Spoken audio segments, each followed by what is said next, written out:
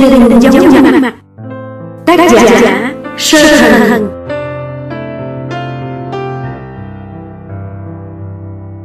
Tập 47 Chương 117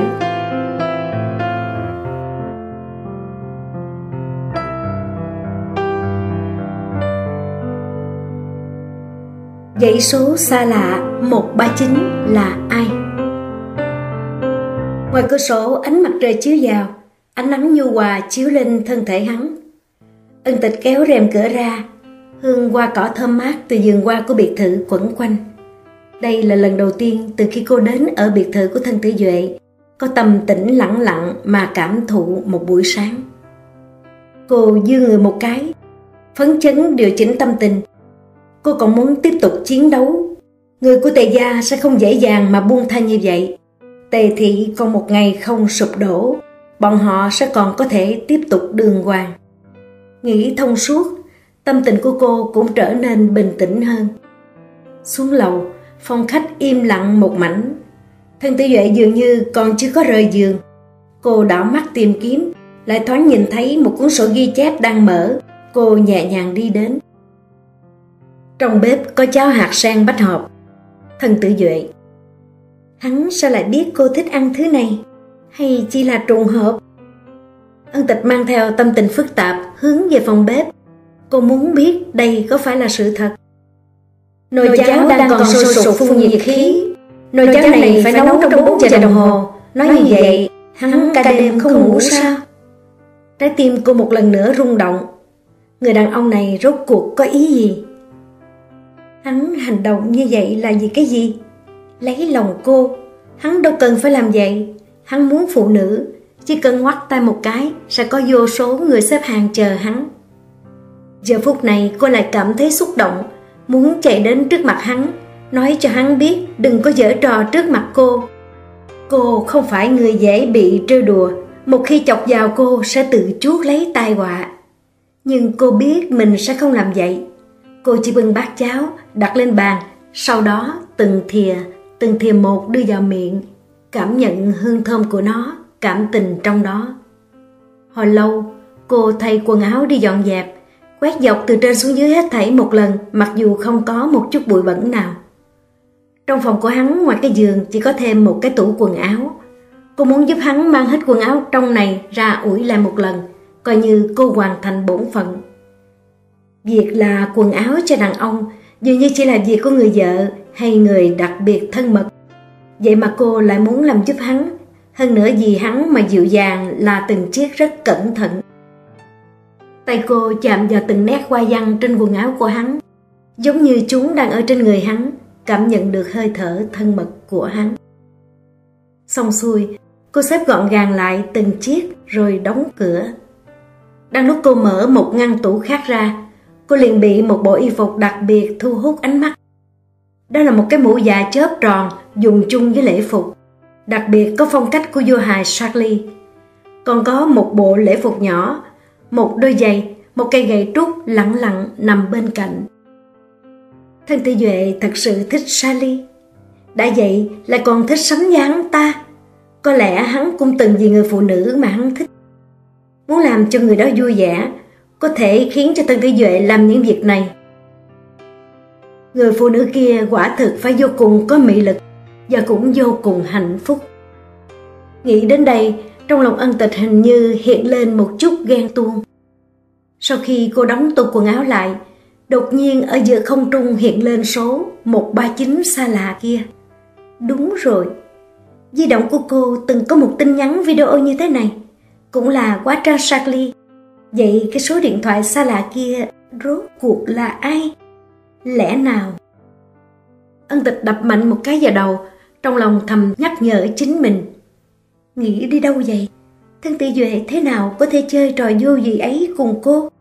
Người này cho tới giờ chỉ có nhắn tin không hề gọi điện, làm sao lại có thể nhàn hạ được như vậy? Đừng nghĩ nữa, chấm dứt ảo tưởng với hắn, cần phải xác định khoảng cách giữa mình và hắn. Chẳng lẽ tuyệt đối không tò mò sao? Nếu số 139 xa lạ kia là hắn, rốt cuộc, hắn làm vậy là có ý gì với cô? Nếu đúng là hắn, vì sao đến giờ hắn vẫn không nói cho cô biết? Lúc này, trong thâm tâm cô có hai người đối lập. Một người khuyên cô chấm dứt hy vọng, không nên tro tàn lại cháy, không nên ôm ảo tưởng gì. Một người lại khuyên cô thăm dò chân tướng. Hiện tại ân tịch có chút hồn siêu phách lạc. Cô cầm điện thoại di động gắt gao nắm chặt lấy. Cô chưa từng chủ động nhắn tin cho số 139 ấy, nhưng bây giờ cô kích động muốn gọi một cuộc đến đó. Giọng nói trong điện thoại truyền đến, có thể chính là hắn hay không? Nếu cô dùng số điện thoại của mình gọi cho hắn, e rằng hắn sẽ không nói, bởi vì hắn đã từng nói hắn cầm điếc. Nếu cô đổi một số điện thoại khác, chỉ cần hắn nói, như vậy chân tướng sẽ lộ rõ. Nghĩ thế, cô không thể kiềm nổi sự kích động của mình, mặc quần áo chạy ra ngoài, nhất định phải chứng thực suy nghĩ của mình.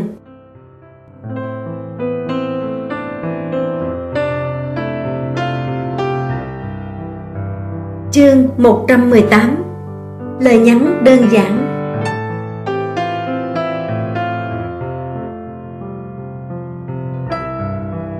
Ân tịch vừa mới đi ra khỏi cửa lớn. Một chiếc xe lập tức dừng bên người. Một vệ sĩ từ trong xe đi xuống. Ân tịch nhận ra hắn.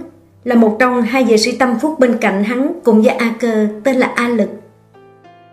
Hứa tiểu thư Chúng tôi theo yêu cầu của thần tổng. Cô đi đâu chúng tôi phải theo sát.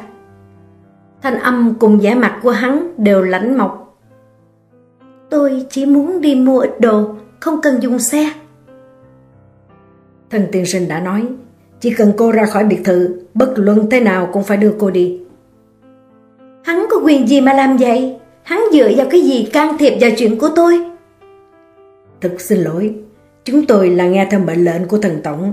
Tôi nghĩ thần tổng cũng là suy nghĩ cho sự an toàn của hứa tiểu thư, mong cô hiểu cho. A lực cố chấp mà kiên trì theo việc thân tử duệ giao phó. Ân tịch biết rõ, cô có hướng toàn bộ bọn họ mà phát quả cũng vô dụng. Làm khó xử bọn họ cũng là làm khó chính mình, nhưng cứ như vậy có người theo sau, trong lòng cô càng thêm khó chịu. Hứa tử thư, mời lên xe, đi đâu tôi đưa cô đi. A lực đứng một bên mở cửa xe. Ân tịch do dự một hồi cuối cùng lên xe, miệng phun ra ba chữ đi siêu thị. Trước cổng lớn, ân tịch nhìn vào trong rất thưa thớt. Siêu thị nhìn qua giống như đã đóng cửa, ân tịch có chút mơ hồ quay sang hỏi. Xác định là ở đây. A lực kiên định trả lời. Hứa tiểu thư, đây là siêu thị gần nhất. Ân tịch quay đầu nhìn hắn nhẹ giọng.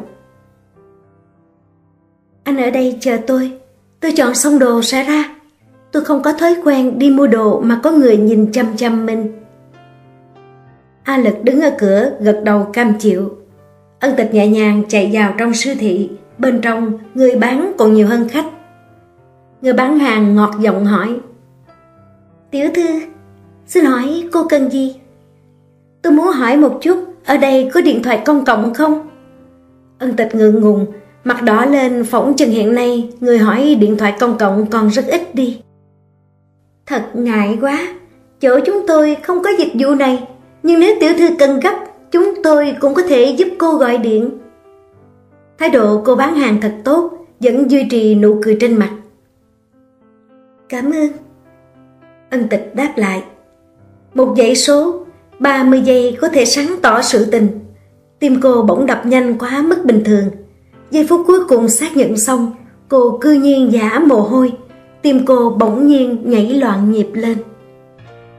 Điện thoại đầu bên kia có thể truyền đến âm thanh không?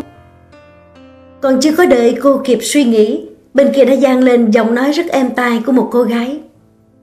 Xin lỗi, số máy quý khách vừa gọi hiện không liên lạc được. Ân tịch cảm thấy mất mát, ngại ngùng nhìn người bán hàng. Vì tiểu thư này còn có thể giúp gì cho cô? Tôi muốn mua một ít quệ tay dùng để xào rau. Ân tịch giả bộ nhà giọng nói, không gọi được điện thoại cũng nên mua gì về, ít nhất cũng phải giả giờ đến cùng. Cô gái rất nhanh đã mang đến trước mặt cô.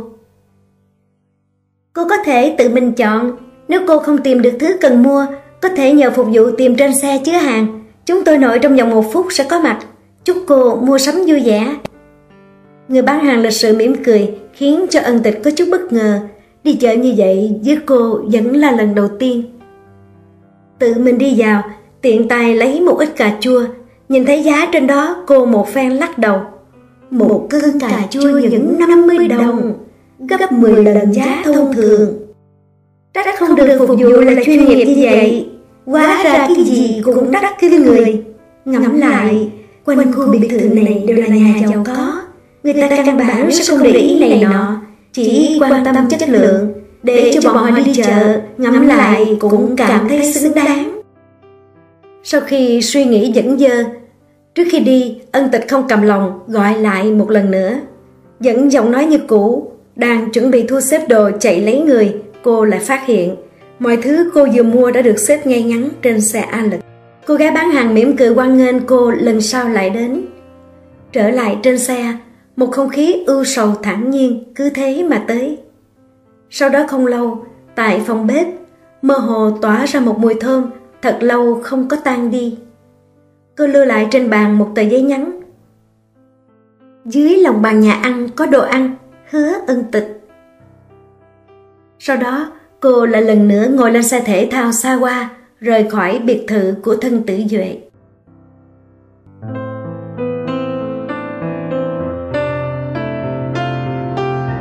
Chương 119 Mời ông ra ngoài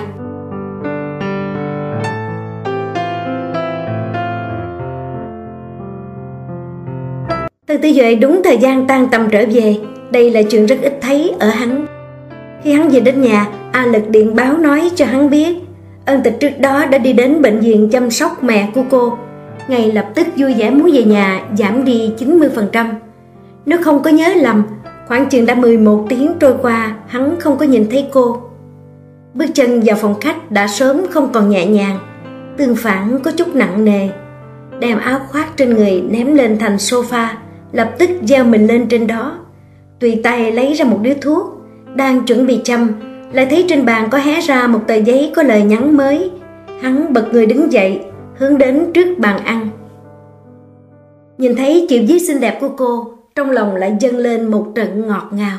Xoay người đi vào phòng bếp, mở lòng bàn ra, hương thơm bốn phía.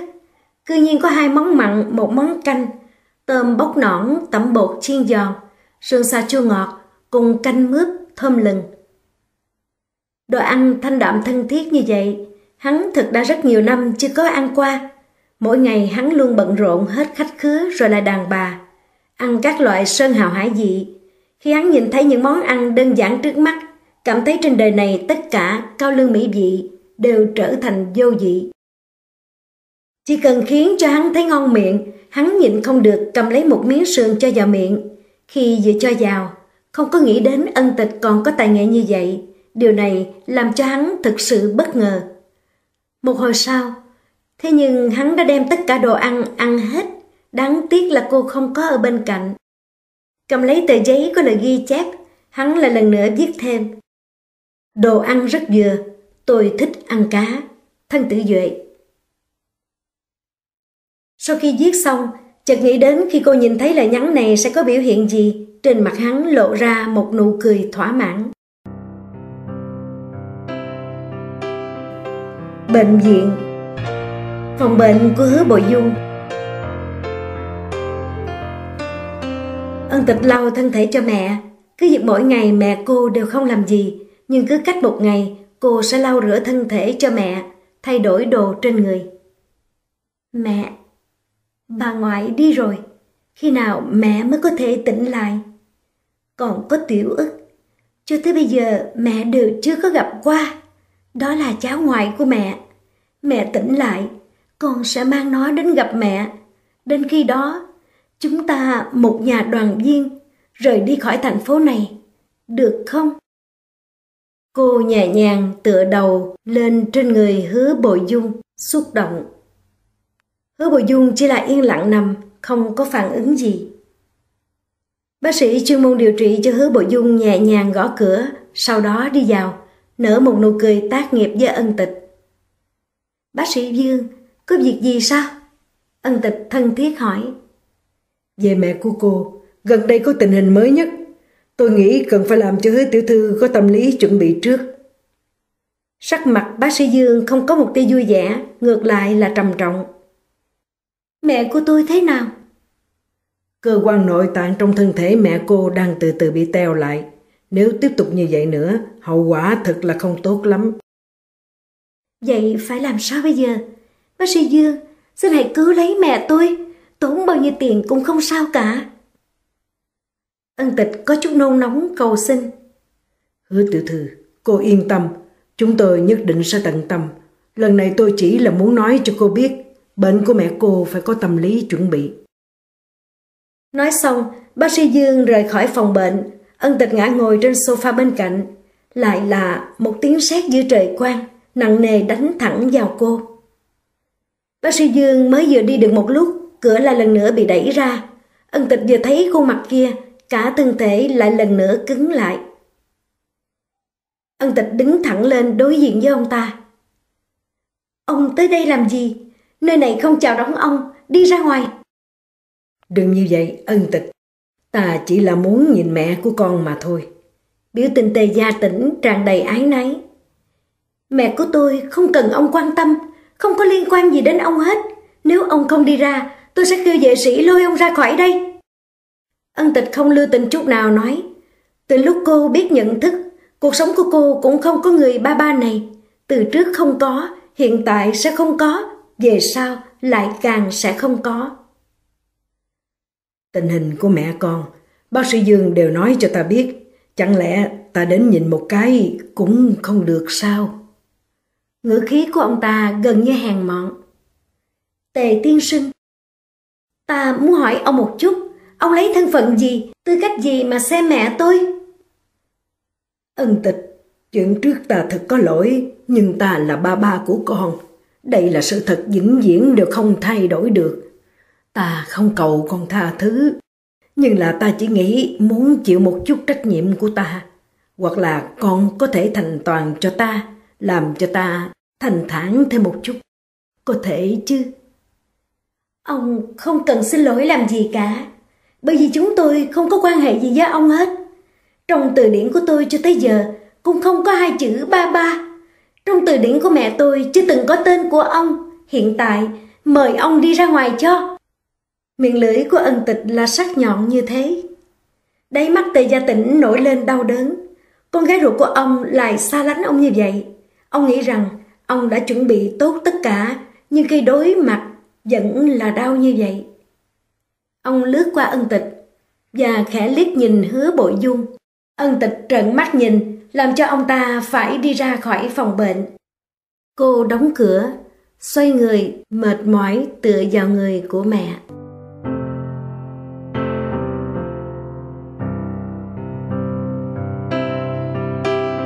Chương 120 Dịu dàng cuối cùng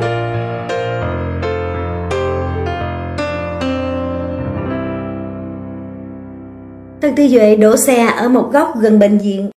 Vừa dặn thấy Tề Gia Tĩnh từ trong bệnh viện đi ra, vẻ mặt thất vọng.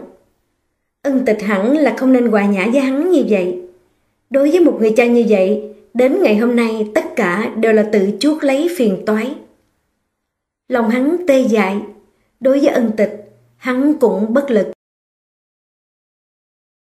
Tề gia tĩnh chặn đầu chiếc taxi mà đi, theo sau xe là một chiếc xe thể thao sang trọng. Trong xe một khuôn mặt phụ nữ méo mó, ngô niệm dùng sức đập tay lái. Tề gia tĩnh cư nhiên đến gặp hứa bộ dung. Bà ta vất giả bảo vệ cuộc hôn nhân của mình. Thế mà cuối cùng lại cũng có ngày hôm nay. Trong lòng bà ta vô cùng phẫn nộ. Bà ta đem toàn bộ nguyên nhân đổ hết lên người hứa bộ dung.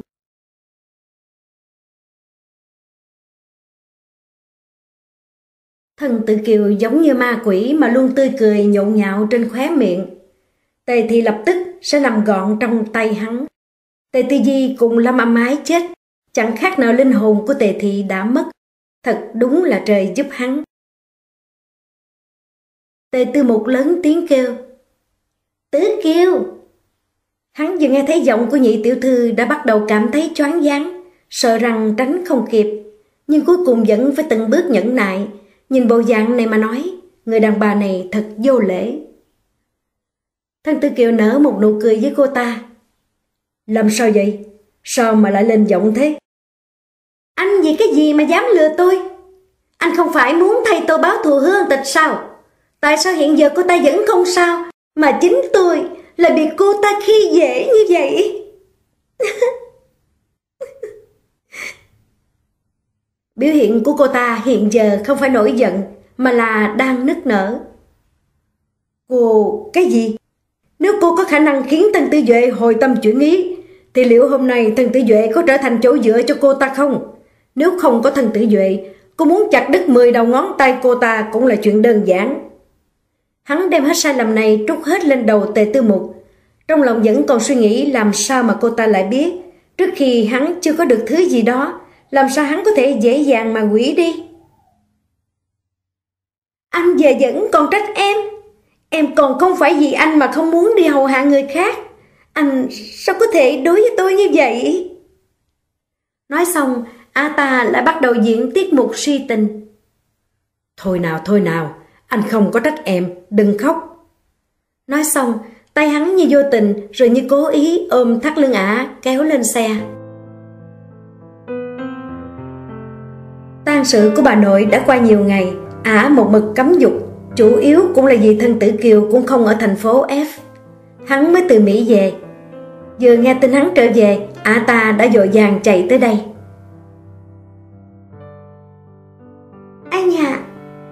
Thật là hư hỏng, đừng mà. Đừng cái gì? Hắn thực sự muốn chơi đùa khiêu khích. Không muốn anh rời khỏi em, không muốn anh không chạm vào em. Dục vọng trong mắt ả đã trở nên mãnh liệt. Mấy ngày nay, ả ảo tưởng, khao khát được hắn giữ lấy. Xem ra người đàn bà này thực sự rất đói bụng. Thân tử Kiều cười quỷ dị. Hắn sẽ khiến cho A ta thỏa mãn, qua đêm nay e rằng sẽ không còn cơ hội nữa. Nghĩ vậy, hắn cố gắng phối hợp cùng A ta. A ta hưởng thụ cảm giác khoái hoạt này, chưa bao giờ lo lắng phía sau đó có âm mưu, không biết ngày mai Ả sẽ trở thành cái dạng đàn bà như thế nào. Hôm nay mục đích của Ả có thể là muốn trở thành minh tinh, ngày mai A ta cũng có thể trở thành một kỹ nữ.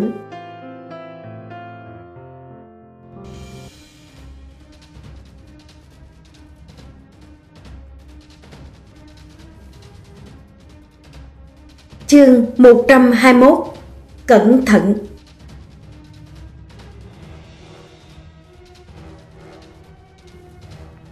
Ngô Niệm mang theo một cái bao chậm rãi đi tới phòng bệnh của hứa bội dung Bà ta tính đúng thời điểm trong phòng không có ai, chỉ cần động thủ nhẹ nhàng, người đàn bà này sẽ vĩnh viễn biến mất trước mặt tề gia tỉnh. Bà ta thực sự đoán chắc trong phòng bệnh, ngoài trừ hứa bộ dung ra không còn ai khác. Thế nhưng quá ra bà ta đã tính sai trí tuệ của thân tử Duệ. Thưa bà, thật xin lỗi, bà không thể vào. Hai người bảo vệ dùng tay ngăn cản bà ta. Tôi là bạn của bệnh nhân, Đột nhiên biết chuyện bà ấy bị bệnh, muốn đến thăm một chút. Ngô Niệm cố gắng tỏ ra thật tự nhiên. Bạn bè cũng không thể vào thăm, thật xin lỗi. Bảo vệ biểu tình lạnh lùng, không để cho ai có cơ hội cầu xin. Các người lấy lý do gì không cho tôi vào? Bệnh viện này ai tôi cũng đều quen biết. Các người có phải chân tay gì của bạn tôi? Ngô Niệm bị xúc phạm, la mắng ngược lại. Vị phu nhân này xin đừng vô lý. Chúng tôi đứng ở đây tất nhiên là được sự đồng ý của viện trưởng. Về phần người bệnh, ngoại trừ hứa tiểu thư, không ai được phép vào thăm hỏi. Bất luận là ai đi nữa cũng không thể vào. Đây là ý của người nhà bệnh nhân. Xin quay về. Ngô Niệm nhìn tư thế của bọn họ, hiểu được hết thảy là đang đề phòng mình. Hứa ân tịch tịch, cô, cô dám, dám chơi, chơi trò này với tôi. tôi tôi liền cùng cô vui vẻ chơi một lần. Bà ta không có trở lại mà lựa chọn im lặng rời đi. Trong lòng có chuẩn bị tốt về tâm lý, bà ta cũng không tin mình không có cơ hội ra tay.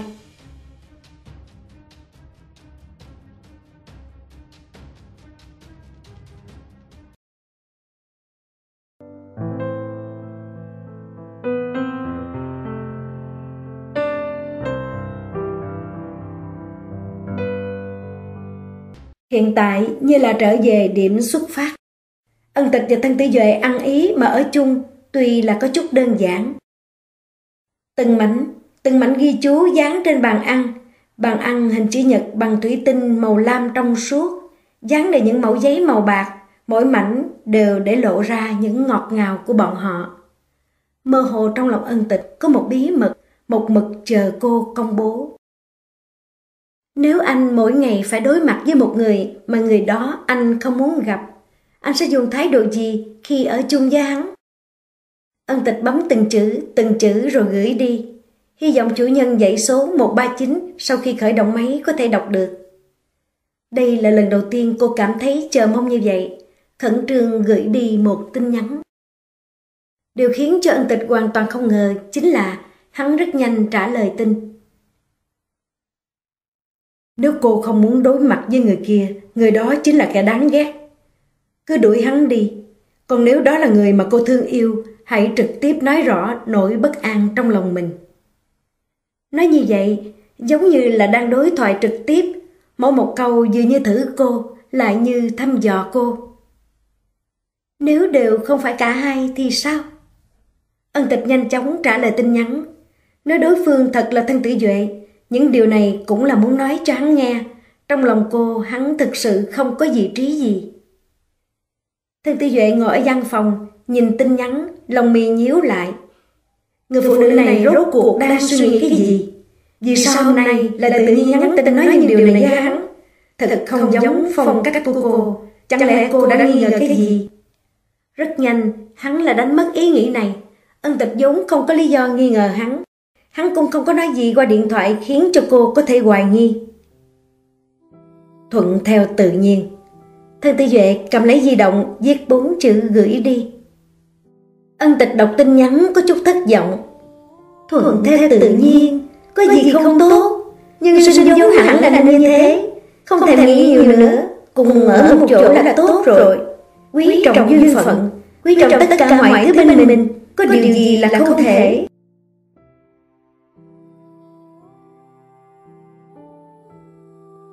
Thằng Tư Duệ lại trở lại biệt thự. Mùi thơm từ nhà bếp tỏa ra, hắn cởi áo khoác đi tới cửa. Thấy ân tịch đang bận rộn nấu nướng, da mặt lộ ra tia vui vẻ. Đầu nghiêng đi 50 độ. Chớp mũi cô có chút mồ hôi, trong suốt. Hắn không nhịn được mà quyển tưởng, tay hắn nhẹ nhàng lau đi mồ hôi trên mũi cô, sau đó ôm thắt lưng cô. Hình ảnh như vậy sẽ là cỡ nào hạnh phúc. Hắn nhìn cô chăm chú, khiến cho cô cảm giác được điều gì đó, liền quay đầu nhìn phía sau, đã thấy hắn nhìn cô cười cười, môi hơi cong lên. Đôi mắt nóng bỏng của hắn khiến cho cô cầm lòng không được mà ửng đỏ mặt lên. Tài nghệ nấu ăn của cô so với mấy ngày trước càng ngày càng tiến xa, hương vị rất thơm, mau bưng lên đi, tôi rất đói bụng. Hắn dạ dày cho cô khỏi bối rối, vừa dời đi vừa nói. Ân tịch đón lời nói của hắn, thuận miệng đáp. Dân. Tâm tư của cô vẫn còn chưa có trở về, có chút thất thần dòng do. Thân tử Duệ mới vừa quay người lại, ân tịch liền truyền đến một tiếng hát chói tai. À! Nghe thấy tiếng ân tịch kêu, thân tử Duệ dội vàng chạy tới, cầm tay cô lo lắng nói, để anh xem có bị thương không? Hắn nhìn cô triều mến, ánh mắt tràn ngập đau lòng và lo lắng. Ân tịch dư mắt nhìn hắn đầy kinh ngạc, quảng sợ, né tránh. Cô dùng sức mà rút tay khỏi tay hắn, cúi đầu nói. Không sao. Sau đó tiếp tục bê nồi muốn cho thức ăn vào bát. Đừng cử động. Hắn là một lần nữa nắm lấy tay cô. Vừa rồi bị bỏng, tay em sưng hết rồi. Giọng nói mang theo chút sủng nịnh cùng trách cứ, khiến cho ân tịch không biết làm sao. Sợ rằng bản thân lúng sâu không có cách nào thoát ra được. Thân tử Duệ tắt bếp ga, bá đạo kéo cô ra khỏi bếp. Anh đi tìm cồn, em ngoan ngoãn ngồi im ở đây, không được đi đâu. Thân tiên sinh, anh quá lo rồi, tôi thật sự không sao mà, chỉ là bỗng sơ sơ thôi. Ân tịch cố chấp giả bộ lạnh nhạt nói, ánh mắt nhìn chung quanh né tránh, vô tình dừng ở chiếc di động trên bàn trà ở phòng khách. Thân Tư Duệ nghe cô cố chấp mà nói ba chữ thân tiên sinh, chỉ có thể nén cơn giận trong lòng, xoay người đi chỗ khác, tìm hòm thuốc. Ân tịch nhẹ nhàng nắm di động của mình. Chỉ cần giờ phút này cô gọi đến số điện thoại 139 xa lạ kia. Nếu điện thoại trên bàn rung lên, cô có thể khẳng định thân phận của hắn. Nhìn thấy hắn đi lên lầu, ân tịch bấm dãy số có đuôi 139 kia.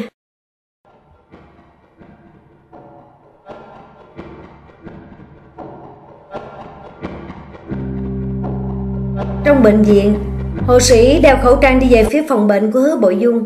Bảo vệ nhìn thấy người y tá kỳ lạ kia bèn giơ tay ra chặn lại. Thật xin lỗi, xin hãy tháo khẩu trang. Tôi là y tá của bệnh nhân trong phòng này. Người y tá không tháo khẩu trang mà nói. Phòng bệnh này không cần đeo khẩu trang mới có thể vào.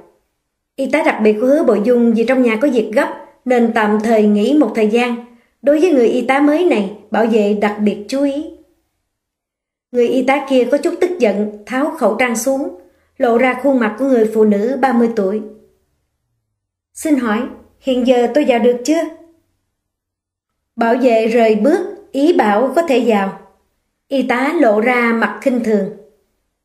Con người của tôi có tật xấu, đi đến phòng bệnh nào cũng đeo khẩu trang. Hai ngày nay tôi sẽ chăm sóc bệnh nhân trong phòng này. Nói xong, liền đẩy một xe truyền gì đó vào phòng bệnh. Đứng ở một góc, ngô niệm lóe lên ánh cười. Quả nhiên như bà ta dự liệu, kiểm tra y tá lúc nãy đeo khẩu trang, như vậy sau này bọn họ nhất định nới lỏng cảnh giác. Như vậy bà ta cũng có thể vào phòng bệnh thuận lợi. Hộ sĩ nhanh chóng đi ra, bảo vệ kinh ngạc nhìn bà ta. Chưa chờ bảo vệ nói, bà ta đã lên tiếng. Người bệnh mất khống chế, cần đi lấy một cái giường mới. Bảo vệ không có ý muốn hỏi lại, vẫn duy trì thái độ nghiêm túc đứng ngoài phòng bệnh. Y tá đi rồi không lâu sau, hai người bảo vệ thì thầm với nhau, sau đó cấp tốc rời đi, hướng thẳng đến toilet. Người bảo vệ còn lại vẫn đứng nguyên ở cửa. Không lâu sau, mấy người y tá đeo khẩu trang trên một chiếc giường khác đi tới. Đằng này, người bảo vệ nhìn điện thoại chấn động nhìn dãy số rồi nghe điện. Nhìn thấy y tá, trong đầu có ý nghĩ không phải là y tá lúc đầu. Nhẹ nhàng đi đến một bên. Nhìn thấy bà ta đi đến bên hứa bội dung, sau đó đứng ở cửa, nhẹ giọng mà nói gì đó, ngữ khí khó có được chút ôn nhu. Cửa phòng hứa bội dung đang đóng, bên trong y tá nhẹ nhàng thở dài một hơi, tháo khẩu trang xuống, lộ ra khuôn mặt ranh mảnh, mang theo tia cười ác ý, khiến cho khuôn mặt nhìn qua đều tràn ngập nguy hiểm. Bà ta mang thứ gì đó đến gần hứa bội dung. Hứa bội dung, chúng ta lại gặp nhau. Lúc này ngươi còn có thể chạy thoát được hay không? Ngón tay ngô niệm nhẹ nhàng xẹt qua mặt hứa bội dung nhẹ giọng nói. Bà ta nhìn gương mặt hứa bội dung trong lòng trào ra tia đố kỵ cùng oán hận. Người đàn bà này nằm ở trên giường bệnh lâu như vậy rồi mà vẫn khiến cho người đàn ông của mình nhớ mãi không quên.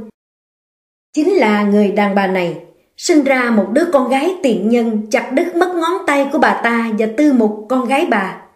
Người đàn bà cùng với con gái bà ta đúng là loại tiện nhân, làm hai tề gia không được yên bình.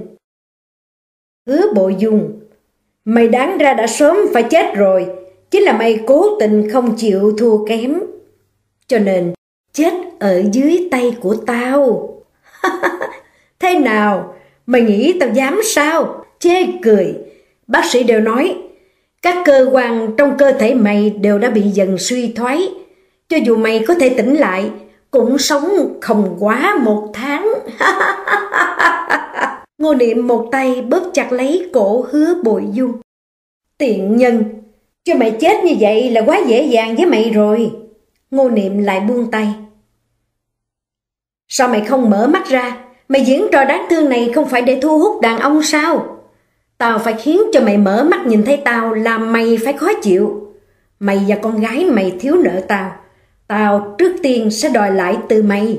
Sau đó sẽ đi tìm con ranh đó tính sổ.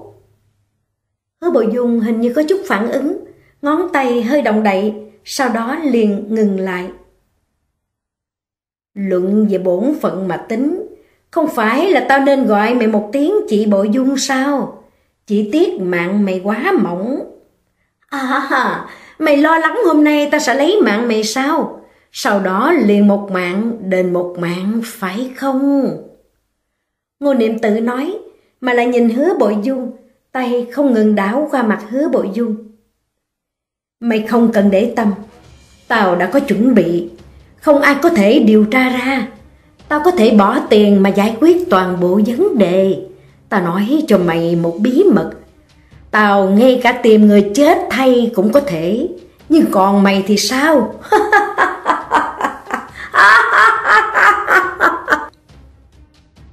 Ngô Niệm đã bị đả kích. Hành vi trả thù khiến cho thần kinh bà ta trở nên điên loạn. Tay bà ta lần mò xuống giường lấy ra một con dao, giơ lên trước mặt hứa bội dung, nụ cười lộ tia độc ác.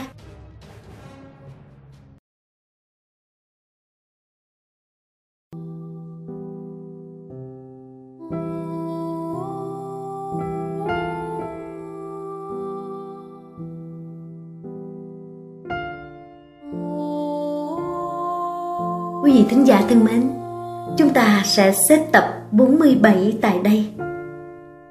Xin hẹn gặp lại quý vị tại truyện audio Lê Duy Duyên Lê vào kỳ sau. Duyên Lê xin cảm ơn và chào tạm biệt.